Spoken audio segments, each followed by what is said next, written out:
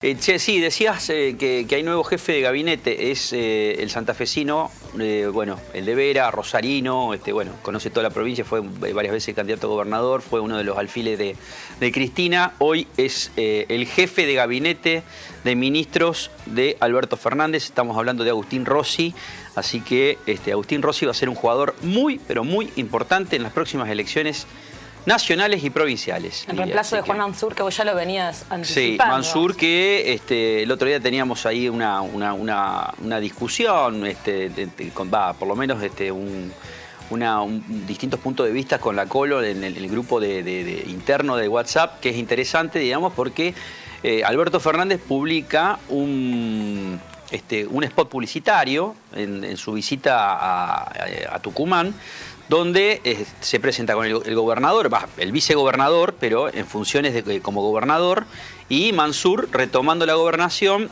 y, este, de Tucumán y seguramente va a ir por la reelección. Eh, y diciendo que Tucumán va a apoyar a Alberto Fernández, etcétera, etcétera. Bueno, yo lo pongo en duda esto hasta que no lo vea eh, a las claras en las elecciones, porque falta mucho para las primarias y ahí es cuando se definen los, los convites reales, cuando no te aparece tu candidato a diputado nacional o la candidata a diputado nacional que este, pretende ser este, dentro de, tu provincia y ahí, bueno, empiezan a decir, ah, a ver qué, qué alternativa hay este, en, este, dentro del Frente de Todos y algunos, algunos que son pocos, digo yo, este, algunos dicen, bueno, si no hay alternativas dentro del frente de todos, voy a mirar para otro, para otro costado, para otro lado. Y ponen su energía en este, caminar la provincia de Santa Fe, perdón, la provincia de Tucumán en este caso, eh, para otro candidato. Eh, ahí, ahí los gobernadores juegan, juegan su, su, changüí. La mayoría quieren un proyecto nacional, pero cada uno tiene, tiene sus intereses particulares también. Totalmente. Esto Lo asume, miden, eh, sí. miércoles, cuatro y media. A las 4 de la tarde. A las Cuatro 4 de la tarde. A las 4 de la tarde, el comunicado lo emitió esta mañana Presidencia de la Nación. Hay que tener en cuenta también que en estos hasta ahora eh, Agustín Rossi es el jefe de la Agencia Federal de Investigaciones. Había sido ministro de Defensa del Gobierno Nacional, también de Alberto Fernández, cargo al que renunció cuando eh, en la disputa electoral de 2021 el presidente Alberto Fernández le pide que cierre filas con el oficialismo aquí en Santa Fe. Agustín Rossi se niega y por esa razón renuncia y se postula eh, como precandidato a senador nacional. Eh, Esa pelea interna dentro del Que justicialismo... sigue, ¿eh? Sigue Sí, esa no, no, sí, sí, sí, sí, eso está claro. Eh, esa pelea interna la gana Lewandowski. Agustín Rossi queda por un tiempo sin ningún cargo público hasta que es nombrado como titular de la AFI y ahora va a ser jefe de gabinete reemplazando a Mansur, que a su vez había sido de- designado cuando Santiago Cafiero fue enviado a la Cancillería. ¿Quién ocupa su lugar en la AFI? Todavía no, No está definido. Ah. Todavía no Bueno, está tiene que ser clave eso, para un año electoral este, donde juegan mucho los servicios de inteligencia, muchos Eh, juegan. Hay una cuestión, Rodri. Eh, Mansur no va por la gobernación, sino por la vicegobernación. Vicegobernación. Va por la vicegobernación. Va como Bueno. vicegobernador, sí. Qué raro eso. Es raro, sí, sí. Lo que quiere Pues es si vos tenés apuntalar... reelección, la posibilidad de reelección, habitualmente, si sos jefe político, optás por ser eh, la, candidato a la- gobernador. la idea es que el actual gobernador continúe en el cargo y Mansur sea el vicegobernador de Tucumán. Bien, bueno. Ya lo buen dato, estaremos muy buen dato. ampliando entonces. Eh, de- eh, lo que decías de, de los servicios de inteligencia de AFI, de la Agencia este, Federal de, Federal. de Inteligencia, eh, la EXIDE, es importante saber quién. Y no, claro, por supuesto, Seguramente va a tener duda. mucho que ver eh, la relación que tenga con las embajadas, con la embajada sobre todo de Estados Unidos y Israel, este, y no dejar de lado tampoco la de Irán, este, ni, ni- ni la de Venezuela. Vamos a hablar de eje, ni la de China. Este, diría también de la, de Rusia. O sea, la persona que vaya ahí tiene que tener mucha relación este, con las embajadas. Y también este, creo que va a tener mucho que ver el, el ministro de Seguridad en la, en la elección de, quién va a ser eh, AFI. A ver, ¿cómo? No, no, porque fue que cuando le pregunté a la Colo, a mí me parecía que había escuchado que era una mujer, no, pero no dije, capaz que no. Yo no, lo sabía, pero aquí nuestra productora lo acaba de... Que es tan rápida ella. está veloz.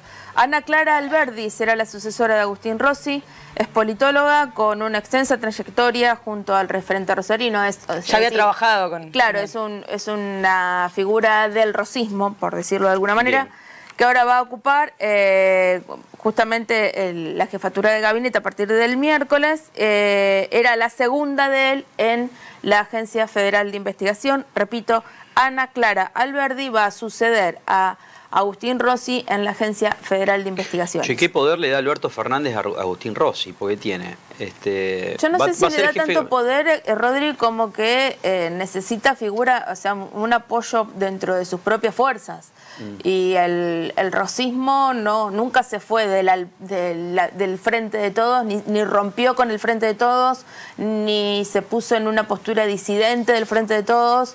Eh, no, la verdad siempre fue leal al, al, albertismo. es, un, es una persona, es un dirigente político de mucho código. Claro, pues no se fue se bancó varias veces que le bajen el pulgar. Sí, claro. ¿Sabés cuántas veces eh, Cristina y Néstor lo quisieron bajar de sus candidaturas a gobernador para que vaya en su momento Rafael Bielsa, después, este, eh, no sé, con el que acordaban de turno? Eh, pero lo que te digo, va a tener mucho poder porque tiene al presidente de la el presidente del bloque de, Frente de Todos, que es Germán Martínez, y tiene también a lo que vos me decís, este, la, este, a la jefa de AFI. A ver, tener la jefatura de gabinete, tener presidente del bloque de Cámara de Diputados, este, y tener a la, persona, la, titular de los servicios de inteligencia, upa, bueno, merece mi respeto. Eh, lo que te decía es que sigue teniendo muchas diferencias con Omar Perotti, con el gobernador de la ah, provincia de Santa Fe. es, es, mutuo esto. ¿eh? se va a juntar con el presidente. Mira, te digo, te digo lo que me dijeron este, hace un par de semanas, tres semanas aproximadamente, digamos, me, parece a lo sumo. Eh, Omar Perotti se sienta con todos, absolutamente con todos, excepto con Rossi. Hasta, te, estoy hablando de que Omar, eh, Perotti tenía muchas, muchas diferencias con, este, con la vicegobernadora, por ejemplo, y con este, el, digamos, la persona más, más importante que tiene eh, el, justicialismo en la Cámara de Senadores, que es Armando Traferri, que es el, senador por el departamento de San Lorenzo, Pipi Traferri. Se va a sentar directamente con, con Traferri para generar toda la, mesa de política, digamos, para electoral. Eh, hoy en día hay cinco candidatos a gobernador, precandidatos a gobernador, Mirabella, este, que es la persona más, más allegada a Perotti, Lewandowski, que todavía no se sabe qué, es lo que quiere hacer, pero ya lo ponen dentro, dentro, de la grilla. Kiko Busato, que es del rosismo. Eh, Busato debe, la verdad que debe estar muy contento por, este, porque va a tener al jefe de gabinete, lo tiene al amigo del presidente, que es Albistur, que es, su, suegro, y la tiene a, Tolosa Paz, que es este, la ministra de Desarrollo Social de la Nación. O sea, pavada de apoyo tiene este Kiko Busato. Y después tiene, están este, mm, Marcos Clery y Eduardo Toñoli. Clery con la Cámpora y Eduardo Toñoli con el Movimiento Evita. Está todo el justicialismo jugando. Hay, que ver si alguno se baja o no. Faltan hasta julio, ¿cuántos meses? ¿Cuatro meses? ¿Cinco? Cuatro meses y medio aproximadamente. Bueno, eh, en definitiva es interesante esto lo de, lo de Rossi.